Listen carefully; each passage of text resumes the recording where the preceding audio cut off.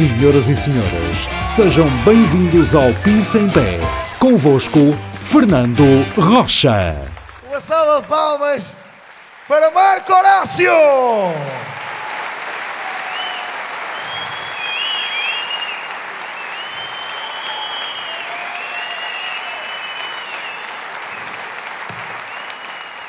Mano, estava-te ali a ouvir e era assim, que saudades. Portanto, faz um favor à Comédia Nacional, bem mais vezes ao programa. De palmas para o Horácio, cara.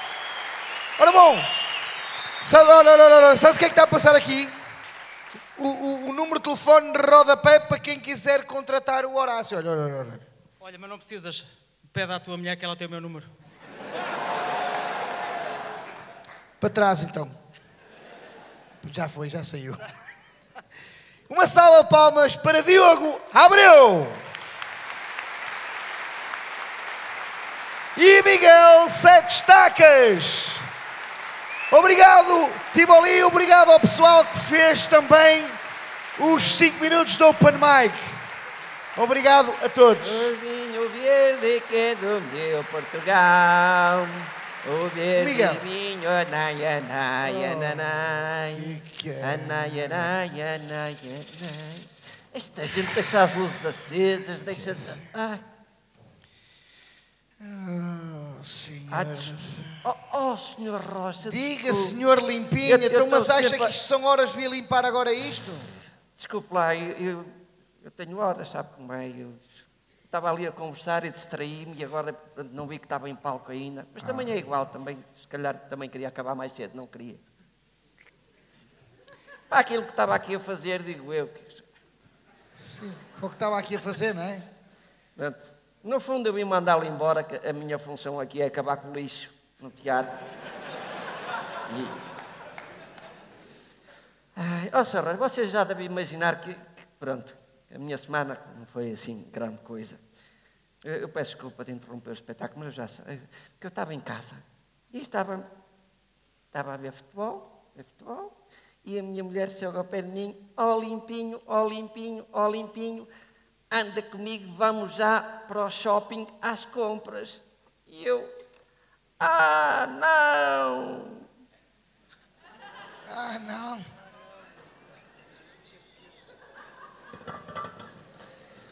Eu disse, vamos logo nesta altura que a roupa está mais cara. Não é melhor ir, ir nou- noutra, noutra altura do ano que agora os preços se param. Não é melhor esperar-se pelo fim da estação?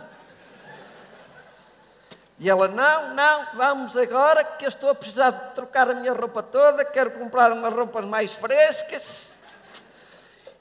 E é claro, para aqueles dias de verão que estão umas noites ventosas, também quero comprar uns casaquinhos e uns agasalhos. Eu disse, mas tu tens tanta roupa, eu estou cansada da minha roupa e ainda por cima agora eu estou com a ideia porque estive a ver a moda de Milão e Paris. Pronto, e lá fui com ela para o shopping, teve que ser. E, eu, e chegamos ao shopping e disse, vai lá às lojas que eu vou dar uma volta e já venho. Já lá, e tu achas bem? Tu vais eu fico aqui. Tu podias ao menos ficar para dizer qual a mais bonita, qual a mais feia, qual a que assenta melhor. Eu disse, eu só percebo de, de limpeza, isto não é o meu ramo, tu sabes bem que eu não gosto disto. Começa-me a mandar ir buscar a roupa. Vai buscar a roupa. Eu disse, eu não sei onde é que ela está. Lá. Mas, mas eu nunca, ó Sr. Reis, você até deve estar com pena de mim, sabe que eu nunca acertava. Eu ali já com um molho de roupa ao colo, eu disse, estou aqui a segurar na roupa. É, a tua tarefa é essa, é não as deixar cair. Só que eu nunca acertava. Ela dava-me sempre naquilo. Ai, que coisa, essa, que horror. Ai, salmão com laranja. Ai, não fica bem. Eu até já tinha medo de ir buscar. Ela- eu estava a chegar ao pé dela, ela a olhar para mim e eu disse, o que é que foi? Será que errei outra vez? Ah, tu não acertas uma, tu não acertas uma. Eu disse, atiro já aqui a roupa para o chão. A menina da loja até disse, não se preocupe, coloque para aí, que a gente depois arruma.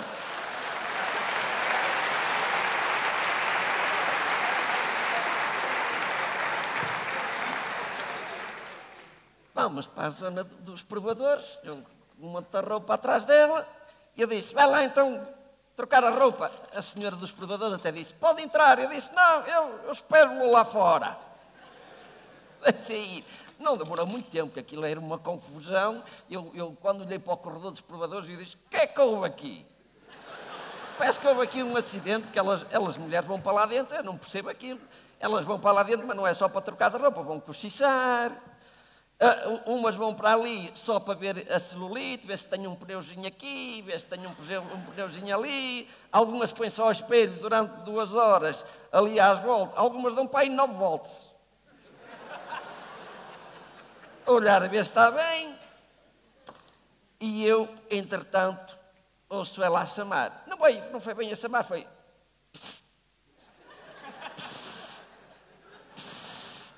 Eu disse, é ela, é melhor ir. Andei ali de provador em provador e ela disse, anda cá que eu quero que vejas isto mais perto. Só que aquilo estava cheio de, de, de, de gente, não é? E eu disse, em que provador é que ela está? E andei ali de porta em porta. E à espera que ela falasse o que dissesse, uh, uh, estou aqui. Não, é claro que não acertei à primeira.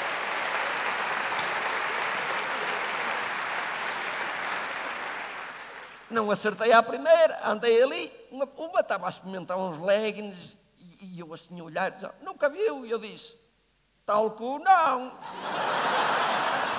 Sabe muita coisa, menina, mas você, sim senhora, você está de parabéns.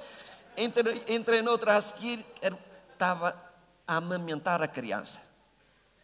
Num provador, ali com a criança à cola, a dar de mamar e, e, e com a camisola para baixo, eu disse, era espanhola, eu disse, Está calor. Diz ela, é, está caliente.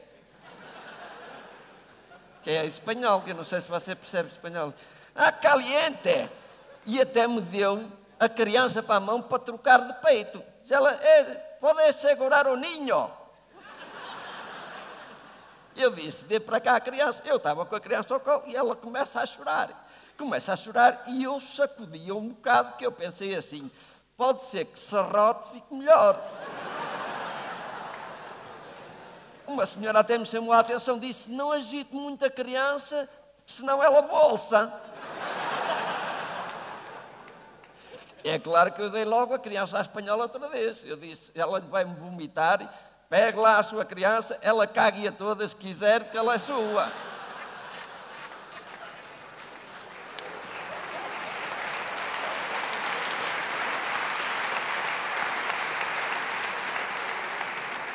Estou-se a rir porque não foi convosco. Não é?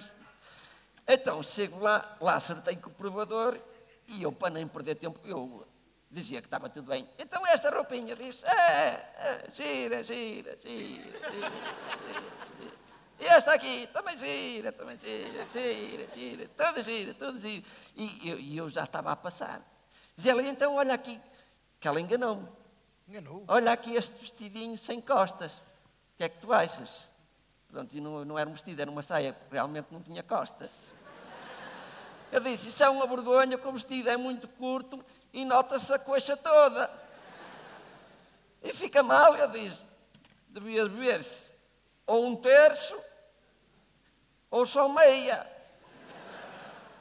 Ai, tu achas que se vê muito? Eu disse, depende. Se fizeres o pino, até se arrisca a ver a zona aí da, da pentelha.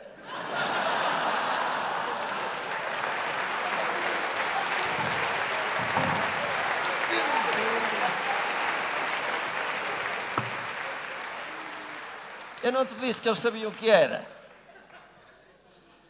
E é que depois eu já sei que aquilo não acaba ali, não é? Eu queria passar que eu já sei. Depois já não é só vestido, depois é um cinto a condizer, depois já não serve andar calçada com os ténis, já vai mais um sapatinho, esse aqui fica bem umas sandálias.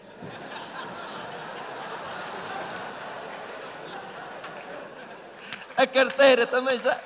A carteira também já não é uma carteira qualquer. Ai, aqui fica bem. É, pochete. É branca de neve. É, é esta... Pochete não é. É puta de diarreia cerebral, foda-se. Ó oh, oh, eu sei que no fim. Diga, diga, diga. Eu sei que no fim que valeu a pena. Valeu a pena que eu até comprei roupa para mim, saímos lá os dois bonitos. Eu parecia aquele ator da, da, da Nespresso, sabe? O George Clooney.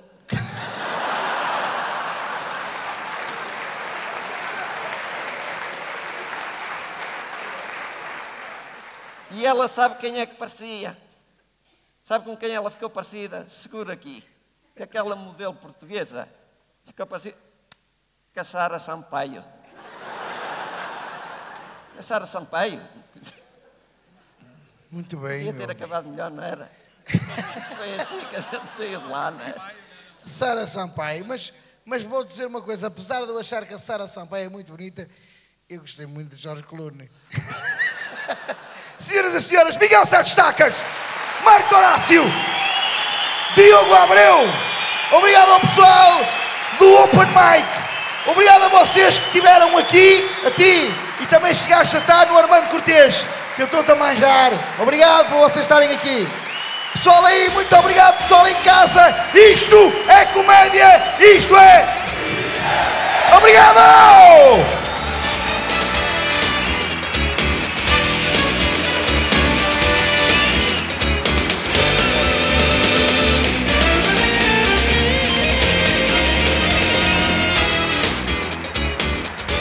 Micro, micro. Fábio, quero pedir ao Fábio para vir aqui tirar a foto. Está aqui, Fábio. Virem-se. Agora, pessoal, todos bonitos. Agora é que é, ajoelhem-se.